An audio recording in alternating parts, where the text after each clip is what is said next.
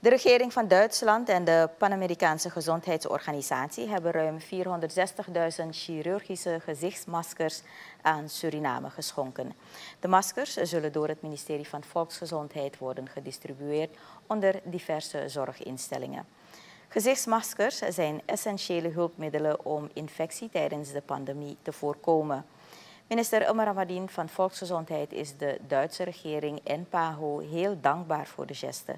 Vooral nu Suriname te kampen heeft met een nieuwe COVID-19-golf en de strijd aangaat met de Omicron-variant. De pandemie vereist een gezamenlijke inspanning onder de naties en Duitsland en de PAHO zijn blij dat ze het ministerie van Volksgezondheid technische medewerking kunnen verlenen. De levering van de chirurgische maskers vond plaats op het ministerie van Volksgezondheid.